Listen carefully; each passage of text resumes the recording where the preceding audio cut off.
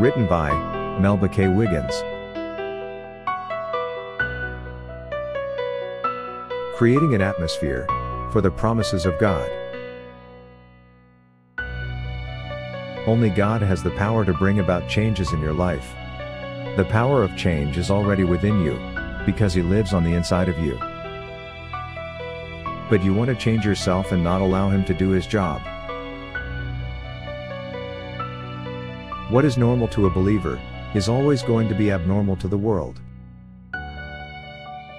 Learn how to increase your ability to create the atmosphere for the promises of God in your life, and the lives of those whom you love and come in daily contact with.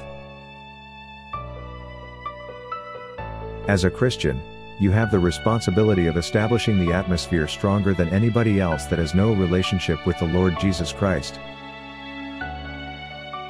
What makes you different from everybody else is that you have the Holy Spirit dwelling on the inside of you. Who gives you the power to create a stronger atmosphere? You already have what it takes to affect the atmosphere.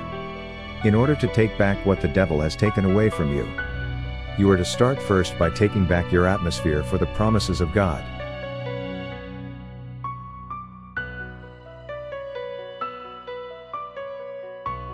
Creating an Atmosphere for the Promises of God. Author, Melba K. Wiggins. Now available in Amazon and Barnes & Noble.